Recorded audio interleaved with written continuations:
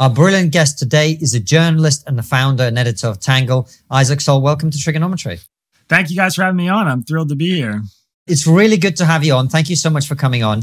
Uh, uh, before we get into the interview itself, and you've got lots of interesting things to share with our audience, uh, tell everybody who are you, how are you where you are, what has been the journey that brings you to be sitting here talking to us? Oh man. Uh, well, my name's Isaac Saul. I am the founder of Tangle, which is a nonpartisan politics newsletter where we tackle one big, you know, controversial debate every day in the news and summarize the best arguments we can find from the right and the left across the political spectrum on that argument. So, you know, I, I kind of say there are two Genesis stories for me as to how I'm ended up in this seat talking to you guys the first one is that I grew up in a really divided, politically divided county in Pennsylvania, just outside Philadelphia, called Bucks County, where I had a lot of friends and family who were on opposite sides of the political spectrum. So uh, I have a lot of loved ones who do not agree about politics. And that was kind of the environment that I grew up in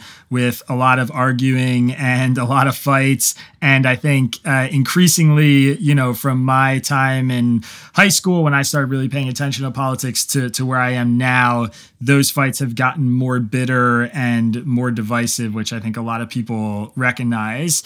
Uh, and then my second Genesis story is that I'm a political journalist by trade. I went to a journalism school and got a job in the media world. My first job ever was at the Huffington Post, which, as you probably know, is a very left wing liberal media outlet. And as I like to say, I did not take my job there because I was a bleeding heart lib. I, I took the job there because I applied 40 other places and they were the only ones that gave me a job. Um, and it's it's not hard to it's not easy to get a job with a journalism degree these days. So I kind of got to look at how the sausage was made really early on for you know a more partisan media outlet as my first job and I also learned what it meant to get tagged in the media space. Uh, when I left the Huffington Post, I was immediately, you know, labeled as a liberal because I had bylines at Huffington Post, and anybody who could do a Google search pretty quickly dismissed anything I wrote as being kind of partisan hackery if they were a conservative because they could find out that my first job is at Huffington Post and they assumed a bunch of things because of that. And so I learned pretty quickly that uh, our information system was really divided. So I had an inkling of an idea to, to start Tangle really early on in my journalism career. Uh, I, I, helped start and build a media company with Ashton Kutcher, the actor and uh, venture capitalist, and was there for many years. For about seven years, I worked there and led a politics team there. And they went through an acquisition and sort of pivoted to video and did all that stuff that's happening in the media space. And so I kind of built an exit ramp for myself because I wanted to stay on the politics beat. I wanted to keep writing. And I built Tangle as a response to that and a response to many of the really, I think, insidious forces in the media space right now that are helping to contribute to our political divides and the spread of bad information and you know the general celebration of people being partisan hacks which is not something i'm a particular fan of. Yeah totally. Well listen before we get into where we are today and all the, the crap that you rightly identify as a big cause of the many issues we have in the world um, I, I was actually quite curious about the the backstory. When were you what, what years were you at the huffington post approximately yeah, so I, I, graduated college in 2013. I'm, I'm 31 years old. So I was at the Huffington Post right after that. I actually, straight from college, I went into a yeshiva, a religious school in Jerusalem in Israel. Uh, again, another interesting experience. I was not raised religious, uh, but I didn't know what I wanted to do, what exactly I wanted to write about. And I had a campus rabbi who I'd built a relationship with who was like, hey, there's this program in Israel. You can go for six months, live in a yeshiva. It's kind of all expenses paid, and you'll get a writing internship. And, you know, hopefully you'll see the light and become an Orthodox Jew, basically, was the idea. Uh, and I went, and it was incredible. I mean, it was what maybe to this day the most intellectually stimulating time of my life. I mean, um, I was talk about having your challenge your your perceptions challenged at every corner and your belief system challenged at every corner. As someone who is secular being dropped into one of the most religious spaces in the world um, i got a lot of attention from very religious rabbis who were interested in compelling me to you know come to their side. I had a lot of really interesting conversations and i did some traveling in the middle east and i wrote a lot and I was there, you know, in 2013, spring of 2013, summer and fall of 2013. And I was writing essays and cover letters home from Israel, applying for jobs in the United States. And so I came home, I think, in the uh, the winter of 2013, right around the turn of the year to start working the Huffington Post, and I was there for about a year before I got I got poached out of the job. So it was the the Facebook boom, the clickbait boom. It was the time when articles were getting millions of views with clickbait headlines and that kind of stuff. Yeah, and so I gather from the way you talk about it that uh, you were not necessarily fully aligned with the with the prevailing ideology at the Huffington Post at the time. Is that fair? Yeah, I think that's fair. I mean, I, you know, I. So tell me what that was like. Like, I'm curious what that's like going into a, you know, from my observation, the Huffington Post is, as you said, very left leaning and kind of ideologically pretty uh, homogenous in my experience. So going in there with someone who had slightly different opinions, what, what was your experience like?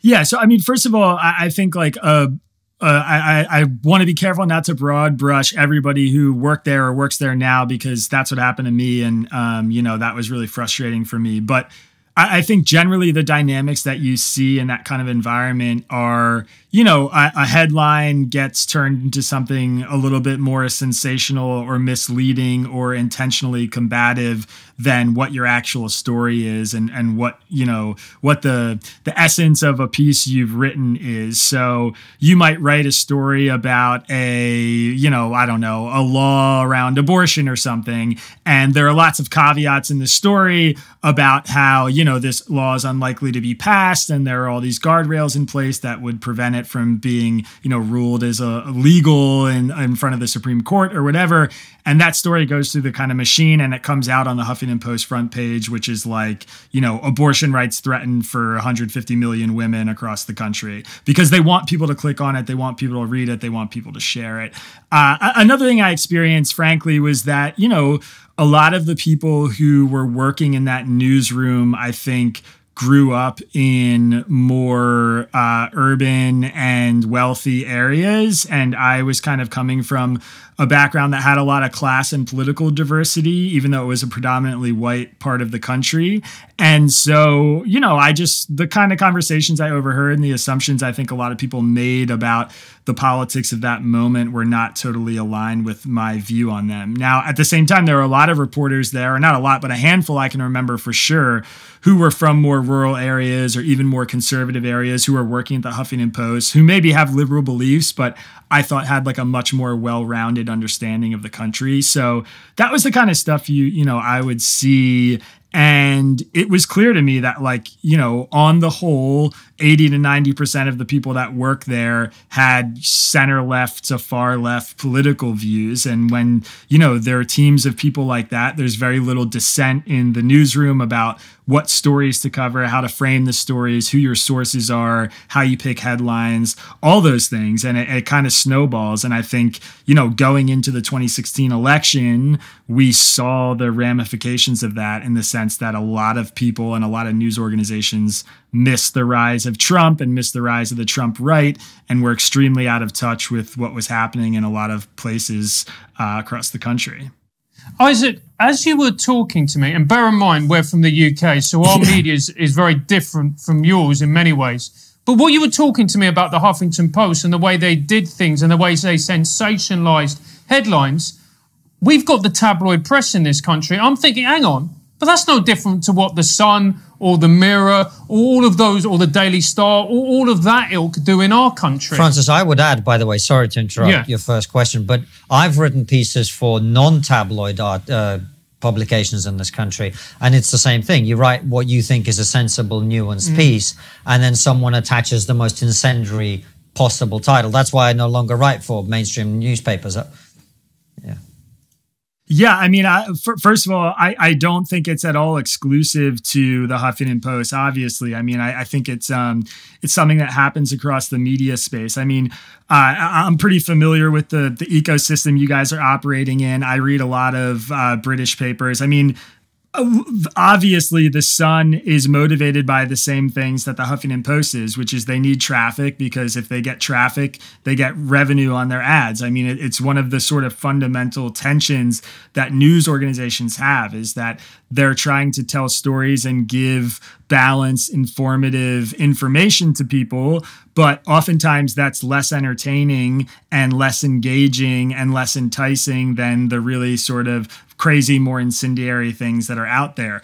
One of the things that I did when I started Tangle as as a means of combating that was that I set out to build our entire revenue stream based on subscription revenue, which I think, you know, if you are advertising yourself as a media organization that's presenting balance and nuance and all these things, and then readers come in to check out what you're doing and they get that, then they're going to give you money. And that's a really good incentive, you know, on the publishing side to, to stay true to your mission, stay true to your goal. If you're the Huffington Post and, you know, your your goal is to inform the public, but the incentives are that in order to keep everybody on staff, you have to get a million page views a week then you're going to have to do things to hit those goals, which is a really big challenge. And I don't envy the position that a lot of those media outlets are in. I mean, you click on a Daily Mail article these days and, you know, you get absolutely hammered with 20 different pop-up ads and videos and all this stuff and the headline's crazy and it makes you want to click in and you know i'm sure there are a lot of writers and reporters there that wish it wasn't like that but that's just kind of how you survive in the in the industry right now to put a devil's advocate position to you, Isaac, but isn't that the trap you're in and that we're all in in a way? Because we have subscribers. We let's be we know what our audience likes, we know what our audience dislikes. Isn't that the kind of path that we all have to tread in a way? Yeah, hundred percent. I mean, look, I, I think um, one of the things that I think is actually really worrisome about the the independent media space. So, you know, I know you guys have a Substack. I started out on Substack.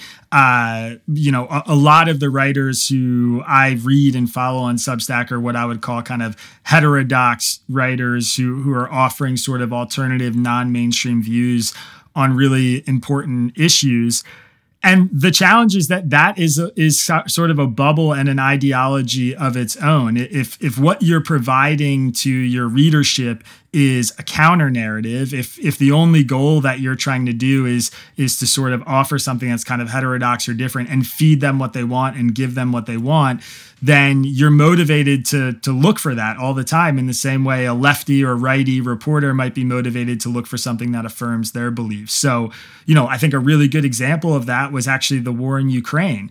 Uh, you could go back and read a lot of the top political and international writers who are on platforms like Substack or independent writers. And a month before Putin invaded Ukraine, they were all saying that it wasn't going to happen, that it was just saber rattling. And the New York Times and the Washington Post and the Wall Street Journal and the CIA and all these, all these, you know, deep state entities were sort of just fear mongering, basically. And it turned out that the mainstream narrative was actually right. That, you know, a lot of the reporting and the sourcing that was coming from those outlets, which trust me, have gotten tons of stuff wrong, was correct. And in retrospect, it was pretty obvious. I mean, he he put hundreds of thousands of troops on the border and said he was going to invade. I mean, it wasn't a big secret. But we we at the time, you know, even I bought into a lot of that kind of heterodox thinking, and I think a lot of people missed it there. So um, yeah, you have to be careful. I mean, from my perspective, uh, I, I think there's less pressure in the space that we're in, but absolutely. I mean, there are the fire breathers who are independent writers who I think are motivated. You know, they know their audience loves it when they just absolutely torch the New York Times or the left or whatever, like the crazy progressives out there. And so they're they're motivated to do that kind of writing. And I do think that's that's a dangerous trap. And you know, there are people who talk about that um, but the forces of that on an individual to me are, are less pernicious than the institutional pressure that you get and the threat of losing your job that you get when you work at, at one of these major media outlets. Isaac, do you think part of the problem is is because of social media, we amplify the most divisive voices, the most outrageous takes. So then we see people, journalists on the left, like who work for, you know, we, we all know the type of publications producing just ridiculous nonsense, and we go, "This is a leftist journalist." When the actual truth is, there's lots of journalists who lean left, who are left, who are actually very good, very principled, and the same with the right. So what we have in, in many ways are these two straw men who we see as left journalists and right journalists, but actually they're not credible, these, these publications that we're talking about. Yeah, I mean, so I think one of the most common tactics that I see in our our kind of modern political warfare that happens is the mainstreaming of idiots. You know, I mean, it's the idea is pick out the person on the other side who is saying the most asinine, crazy, um, you know, derisive, combative things about a certain political group. Uh, and then elevate them and, and make it seem as if this person is the mainstream. So, you know, a, a, good example is somebody like Marjorie Taylor Greene. I mean, she, whatever, had all these crazy beliefs that she posted out on Facebook about, you know, Jewish space lasers and all this stuff. And she's one Republican, you know, conservative in the House of Representatives in the United States, which is probably going to have about 222 Republicans in it in this upcoming Congress. And she's a household name now. I mean, she every liberal who's politically engaged knows who who she is and they can probably name less than 10 other Republicans in the House of Representatives. Why is that? it's because a lot of people on the left elevate her and try to make her symbolic of what the modern day Republican Party is. And maybe there are certain issues where she is representative of the Republican Party today. But on the whole, I think she's, you know, she's pretty fringe. She's pretty far out there. She's pretty far right. Yet, if you ask your standard Democrat in the US to imagine a Republican today and ask you, ask them to describe to you what their beliefs are, they're going to describe somebody like Marjorie Taylor Greene. And I think that's because of the effectiveness of that kind of political warfare. And the same goes for, you know, conservatives on the right and and what they do at the left. I mean, Alexandria Ocasio Cortez, widely considered one of the most far left progressive Democrats in the House. She's also the most famous, and and that's because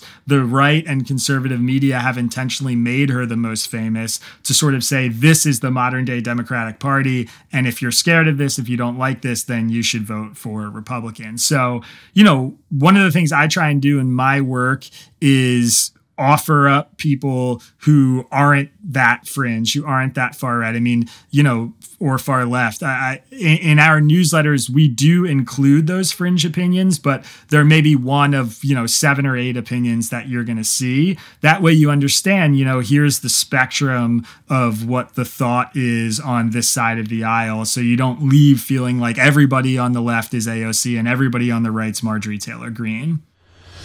Hey Francis, do you want to protect your privacy? Of course I do. Now that I'm an international celebrity who's appeared on hit shows like the Joe Rogan Experience, I have to protect myself from vicious people looking to tear me down. I'm the Michael Jackson of the internet. Not the celebrity I would have gone for, but trust is important when picking a VPN. I don't trust anyone after she left me. She took everything. Francis, remember what your lawyer said. Good point.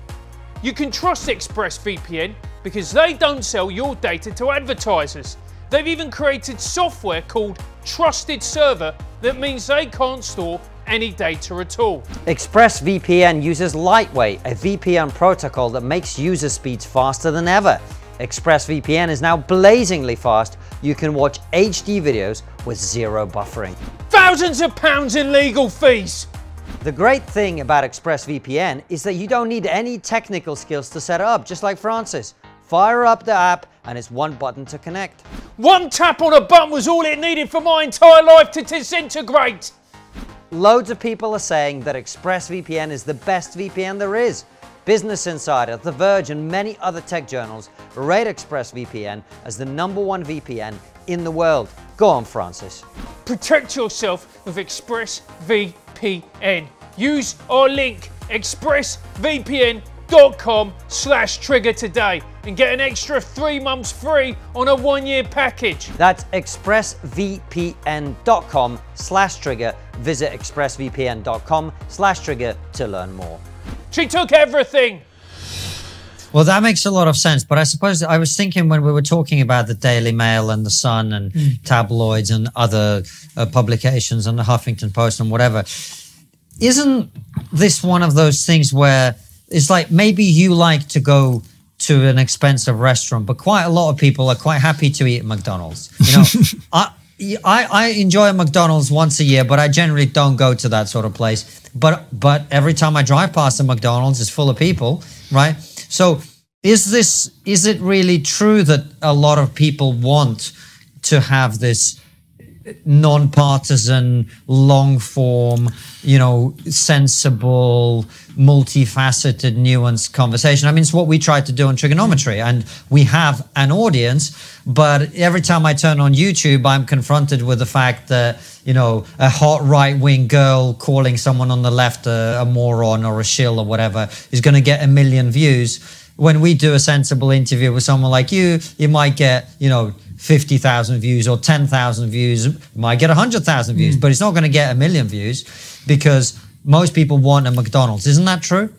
Yeah, for sure. I mean, look, there's a there are a few kind of uphill battles I think that uh, people in our space are climbing because I do sort of think you guys are doing work that is, you know, similar to mine, which is first of all, everybody's going to click on the headline about, you know, the dozen kids dying in a bus crash before they click on a headline about, you know, a political party solving a water crisis in, you know, some city in, in Houston or whatever. I mean, that that is the reality of the challenge that we're at. I've, I've worked at news organizations that produce quote unquote good news, feel good content, um, or solutions journalism, journalism about people who are solving things rather than people who are creating problems and it, it is hard. It is hard to get people to engage with that stuff. Uh, i do think there are ways to do it though and i think there are ways to raise the interest level i mean when i'm pitching tangle to people and trying to get them to sign up and give our newsletter a shot I, I change the way I talk about it, honestly, depending on the kind of person I'm talking to and what their political worldview is.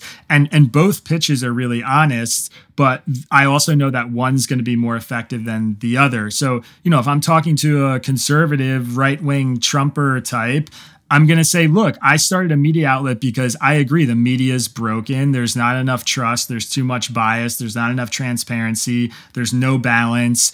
Uh, so, so I built something to try and solve that. I got tired of talking about what the problem is give it a shot. If you don't see your views represented, if you don't think it's fair, you don't have to read it. But I think if you try it, you'll like it. And that's a really appealing pitch to them because we meet on the fact that, yeah, the media ecosystem is broken and these incentives are wrong. And there are a lot of journalists out there who aren't being fair. If I'm talking to a liberal, uh, you know, it's more like, if you still don't understand why Trump was elected in 2016 and almost got reelected in 2020, or why he's still the most popular politician in the Republican Party, you should get out of your news bubble you're in an information bubble if you don't understand that yet. And the answer isn't racism okay? It's it's something much more it's something much broader and and more important and more i guess i would say complex than that. And that is a good way to get people like okay maybe i do have more to learn about other people in the united states. Maybe i am misunderstanding what a lot of people in america think or feel. And so they'll come check out Tangle to sort of get a better understanding of the other side of what's happening in the conservative space because a lot of conservatives feel like they're surrounded by liberal media, and a lot of liberals feel like they have no idea how a conservative could believe what they believe in the United States. Um, I actually think the true is same for a lot of the politics in your country and i think you know something like what i'm doing would be really effective and draw a big audience there and you know to your point uh, it's it's not easy to win people over on the the nuance of things but i do think there is a groundswell and a kind of grassroots uprising against the way things are right now that's happening. And you know you guys having 300,000 YouTube subscribers is part of that. We have 365 mate. We've worked hard. 365,000 YouTube subscribers. I mean that that is proof of it. Uh, I've seen your channel. I've watched your videos. You guys have really uh, long form, oftentimes controversial conversations that I think, regardless of where people were from, they would feel uncomfortable in certain moments, yet they're coming back and they're watching. Uh, I, I, think that's proof of it. Tangle has over 50,000 people on our mailing list. I think that's proof of it. I, I think the the kind of the swell of independent media that we're seeing right now that's challenging a lot of the traditional media outlets is proof of it. So, yeah, it's not easy. You're, we're definitely competing with one hand tied behind our backs, but uh, because you know human nature wants the kind of sensationalist stuff that reaffirms our worldviews. But I do think there are more and more people who are increasingly interested in this kind of content.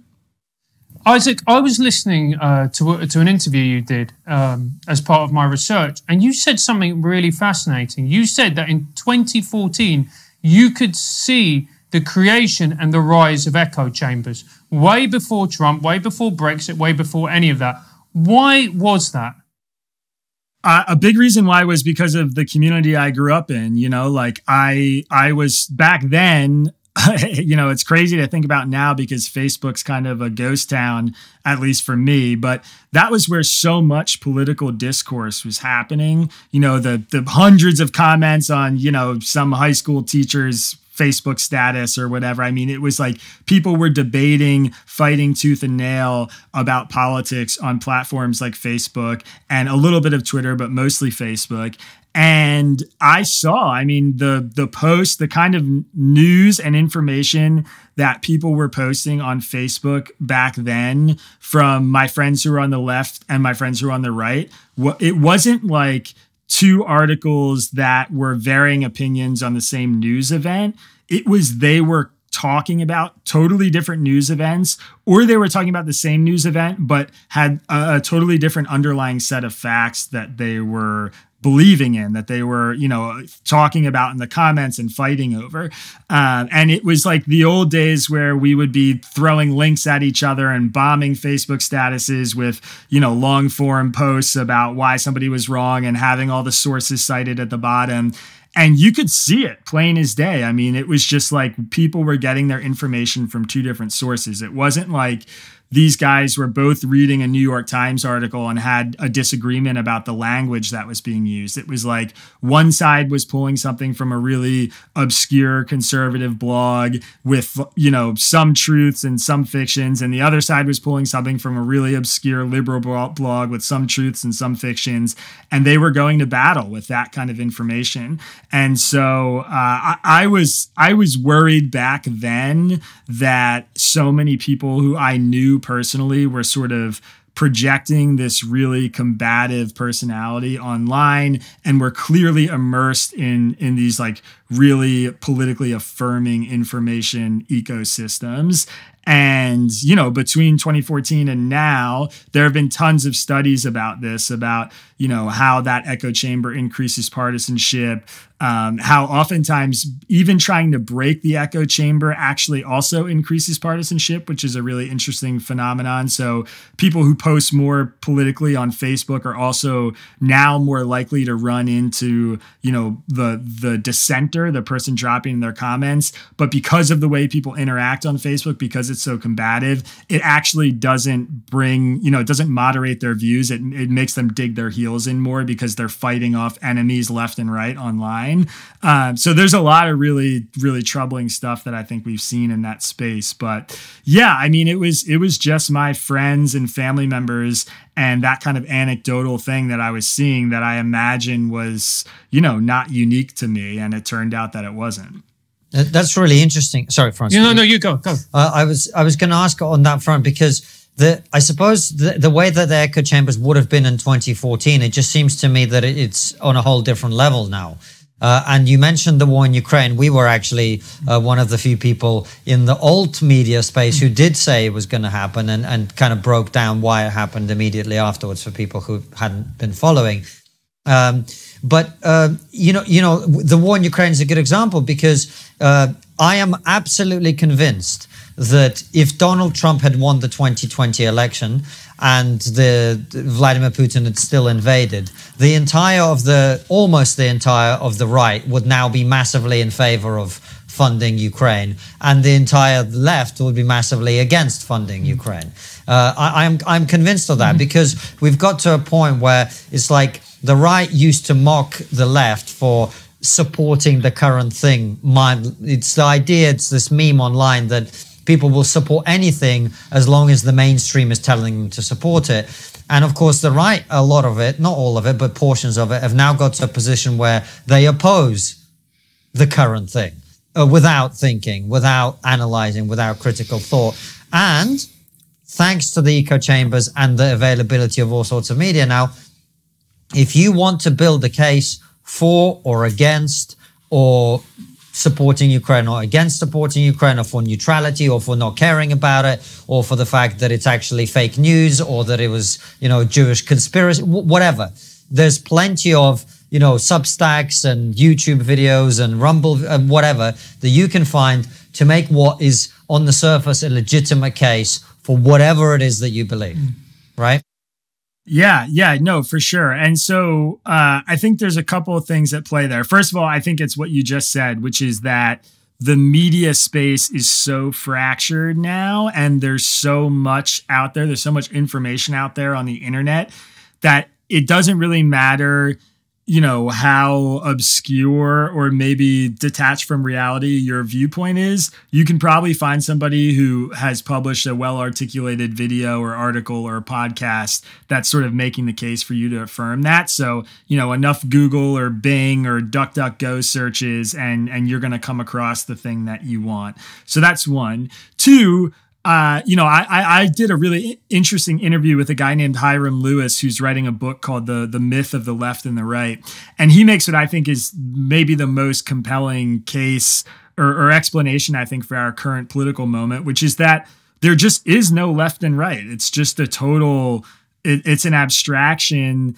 where what defines being left or right has just completely been upended and changed and moved repeatedly throughout the course of American and global history. And, you know, his, his argument is basically like we live in political tribes increasingly in today's society people's community are tied closely to their political worldview. And so, if your community is your political tribe, then you're going to kind of follow what the tribe does because you want to stay a part of that community, regardless of if it violates whatever your preconceived, you know, purported, uh, I guess, allegiances are. And you'll change your worldview to kind of fit in, is basically his argument. And he, and he makes a really good case for it. I mean, the examples that he uses are like, you know, when George W. Bush invaded Iraq, uh, and you know launched us into this war against terror in the Middle East. The commentary back then was that he was moving the Republican Party to the right. And when Donald Trump took office and took this isolationist stance that he was going to, you know, pull troops home from the Middle East, the commentary was he was lurching the party to the right. And it's like, okay, well, what does it mean to go to the right then? It doesn't make any sense. I mean, a lot of people define conservatives and progressives as conservatives want to conserve, they want to keep things as they are. Progressives are trying to change. They're trying to change what it means to be a woman and they're trying to change same sex marriage and all these things.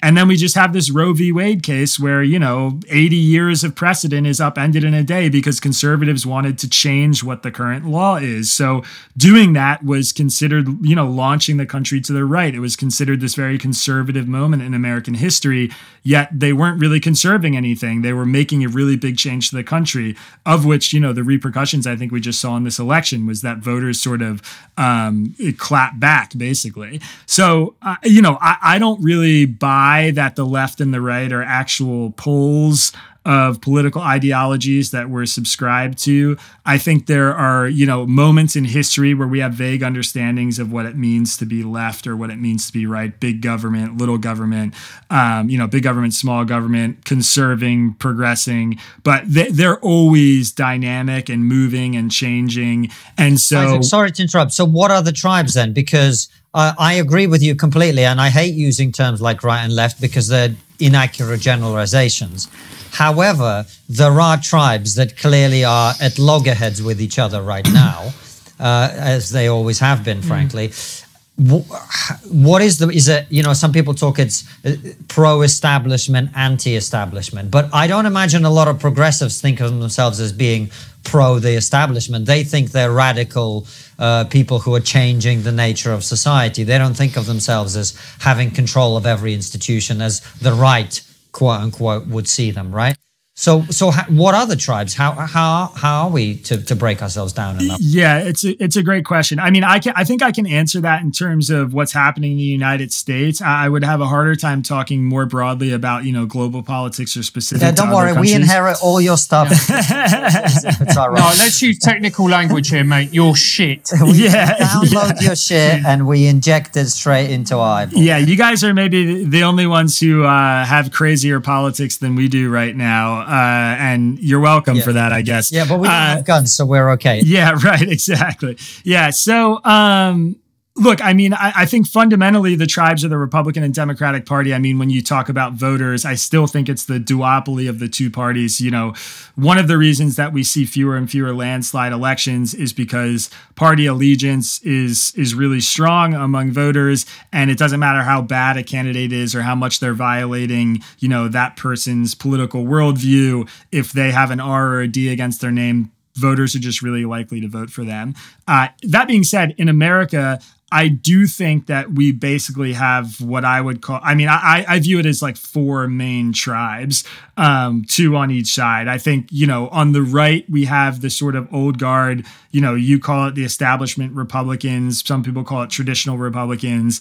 Uh, I'm talking Mitch McConnell, Mitt Romney, that sort of era of Republicans that, really talk about being, you know, aligned with small government and, you know, some some semblance of bipartisanship, tons of respect for the traditions of the country, constitutionality, that kind of thing.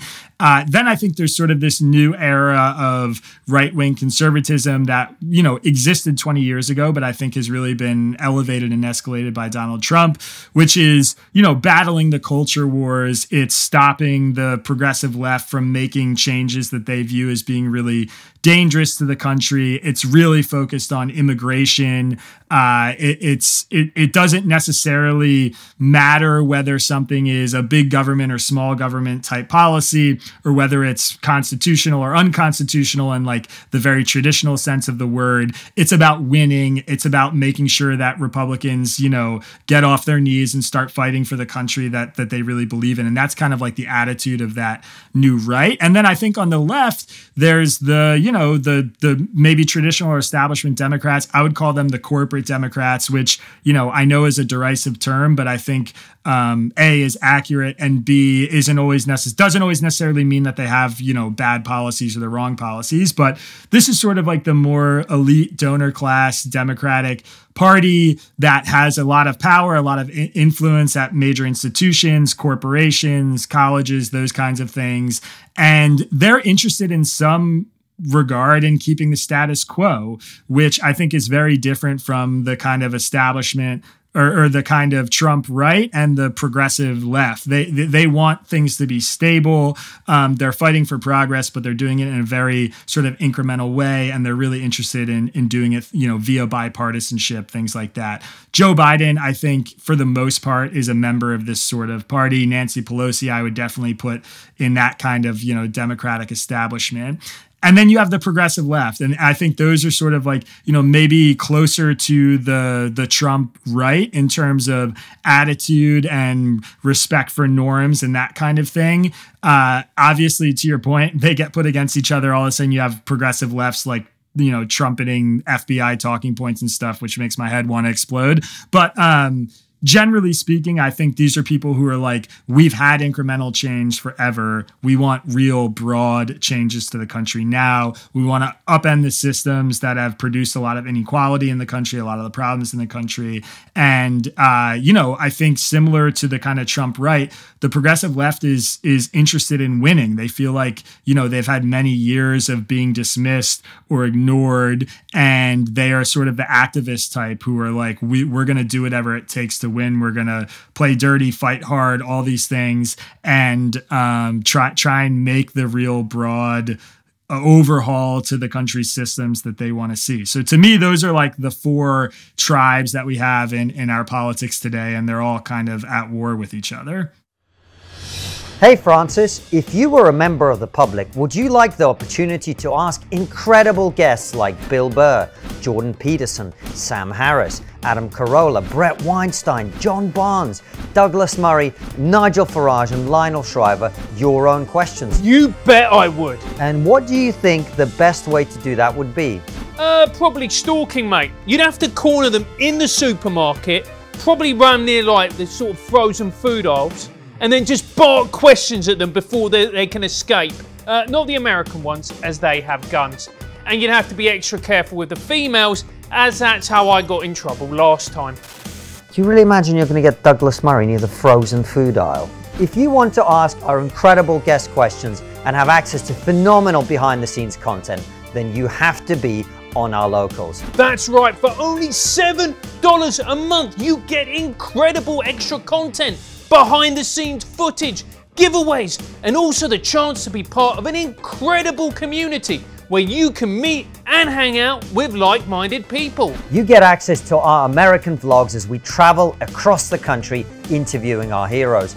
An extra 20 minutes of our viral Sam Harris episode as he discusses his approach to COVID. We're also going to start doing giveaways of exclusive Triggernometry merchandise like this, a poster from our Edinburgh show signed by both of us. And also a House of Lords teddy, which you can only get in the House of Lords, signed by the one and only Baroness Fox. Locals also gives you access to an incredible online community. You can share memes, talk about the latest episode, or even make a new friend. Or just one. Exactly, more than both of us have really. People are now doing meetups in their city because they love locals. In fact, some people enjoy it so much they prefer it over the show. They prefer locals to Triggernometry. If I have to get them executed, I'm the one that goes to jail. Right, go to triggernometry.locals.com. Only $7 a month for all that incredible content. Triggernometry.locals.com. See you there, guys. Do you think that this fragmentation of society has been exacerbated by the fact that no one really trusts the mainstream media anymore? Not left, not right, because we've been let down and been betrayed so many times by them, whatever institution it is.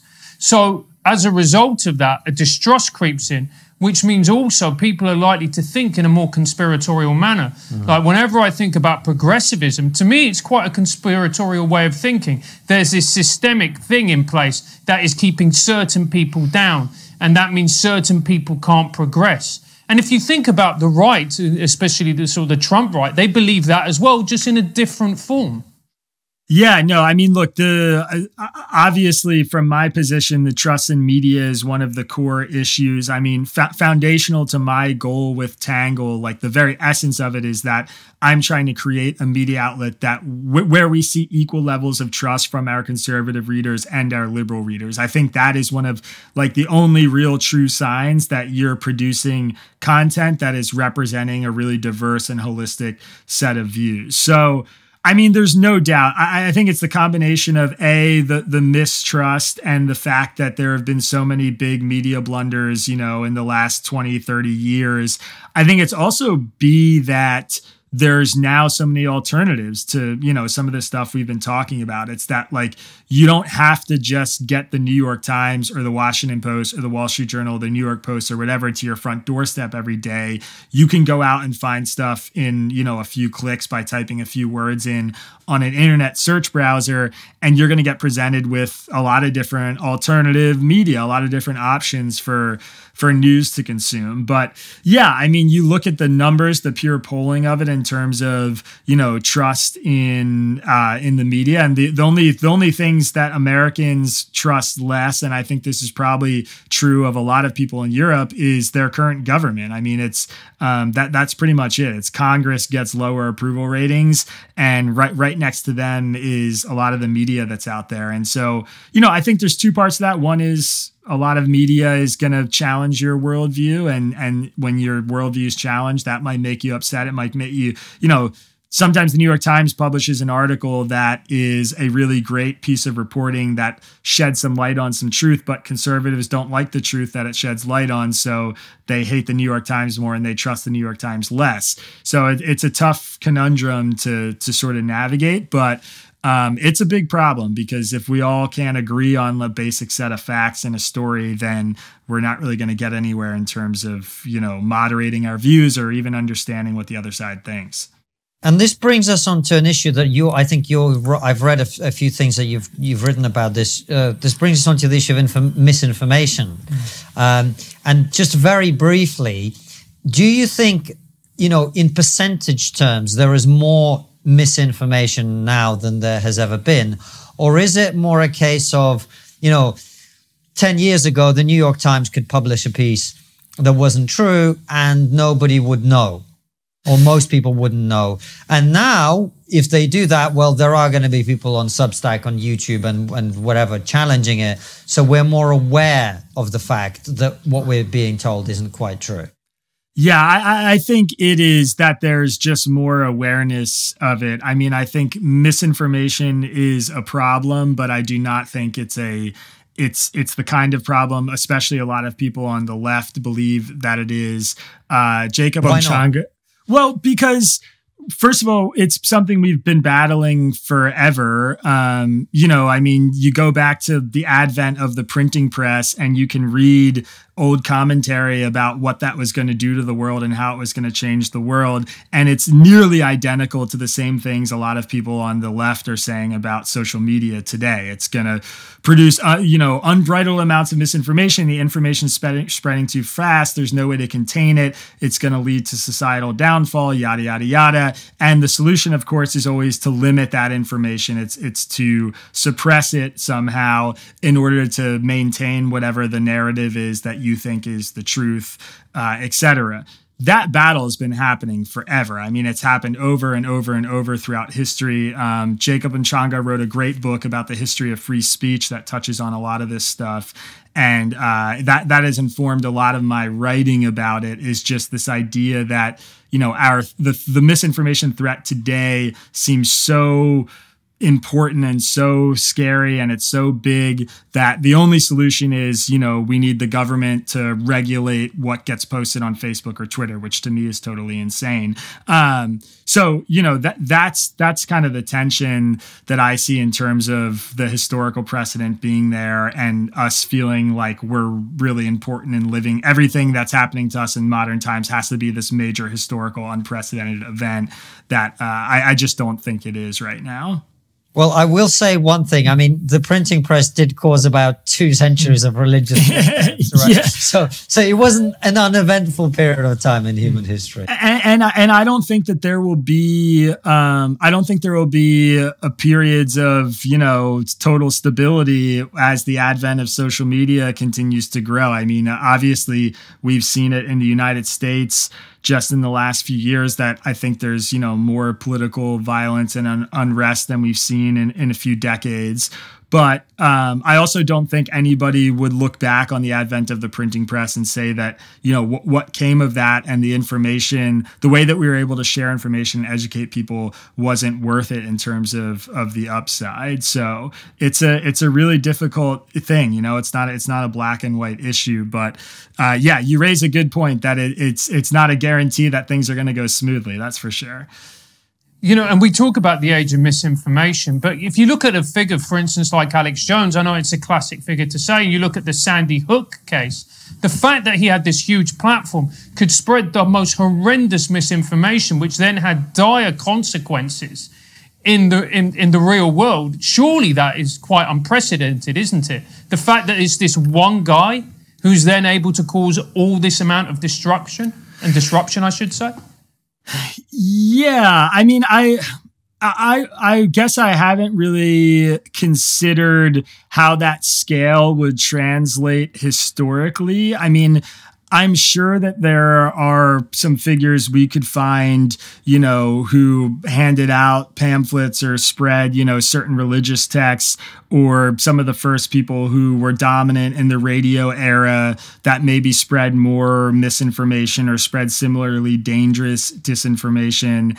Um, I think one of the critical things about Alex Jones is that you know he he did things he, him specifically uh, he did things in a way that were violating you know certain terms of service that some of the platforms he was on had which led to the repercussions that he's faced now. So you know I, we're, we're making an agreement i think a societal agreement that we're going to have some Alex Joneses and we're going to have to figure out how to navigate them. But the trade off for that is that, you know, when there's protests in China, like we're seeing right now, there's a way for somebody to upload a video that's, you know, shedding a light on the repression of political dissent in 10 seconds on TikTok, which would have been impossible 30 years ago. And we wouldn't have any idea what was happening on the ground there right now. And, and that's really good to me. So, um, you know, it's, it's not it's it's not a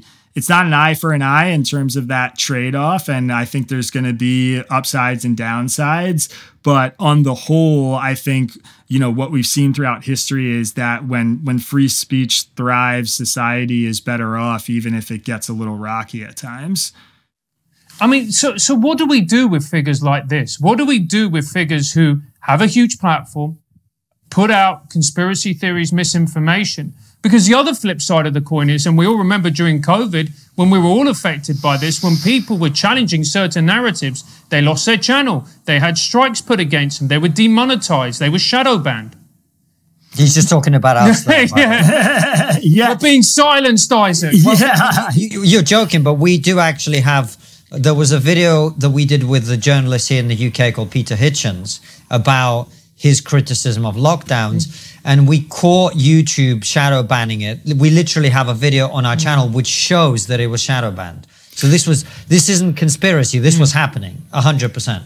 Yeah, so I the, the, I mean that is my argument. You know, I and I know this is like maybe offers up a little bit of my political worldview and where I come from, but um, my personal opinion is a that deplatforming the vast majority of the times is uh, has the opposite effect of of what's intended, and b that the the net sum of you know allowing the sort of shadow banning the removal of like these dissenting opinions is actually bad for society. I mean you know to your point i think covid is a great example of how the prevailing acceptable wisdom has changed over time. I mean what used to be totally off limits like suggesting that it started in a lab and this was all the result of a lab leak or that vaccines weren't totally effective and people were still spreading the virus and that sort of thing that's now acceptable speech on a lot of platforms when it wasn't a year ago or two years ago or three years ago.